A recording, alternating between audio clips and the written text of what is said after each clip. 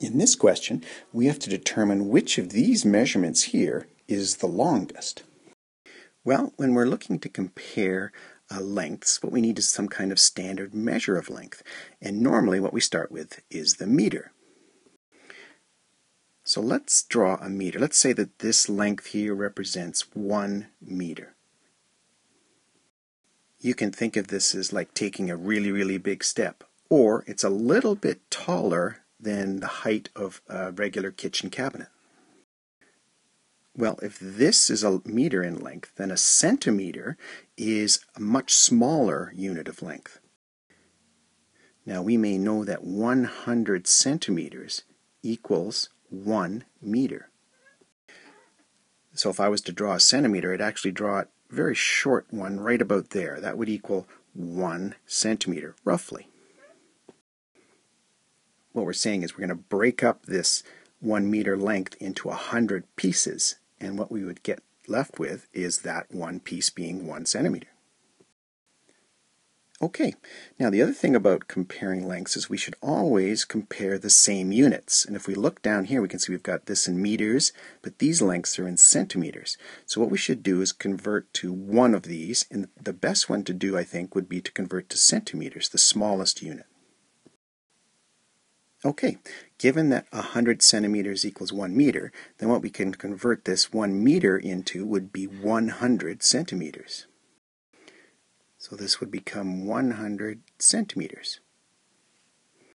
And the 21 meters here would become 2100 centimeters.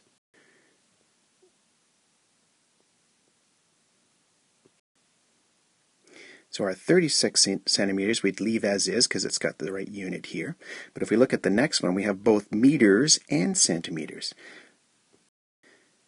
So one meter would be 100 centimeters, and then additionally 8 centimeters.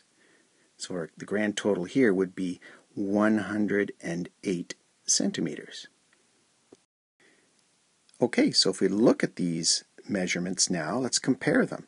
100 is smaller than 2100, so that's the biggest one so far. 36 is smaller than 2100, so it still is the biggest. And 108 centimeters is smaller than 2100 centimeters, so we know that this is the largest measurement, largest length. Now, if we extend the problem, we could ask ourselves, well, how, let's put them in order. Well, if we said that 2100 centimeters, let's say, was that long, then a half of the way along would be like uh, 1050 centimeters. Another half would be 500 centimeters. So we, if we look at the next largest, which is 108, it would be somewhere around here. So we could put it in, say, about that long. So then 100 centimeters would be bit less than that would be about that long, and then 36 centimeters would be even smaller, about that long. So in order, 2100 centimeters is the longest, followed by the 108 centimeters, followed by 100 centimeters, followed by the 36 centimeters.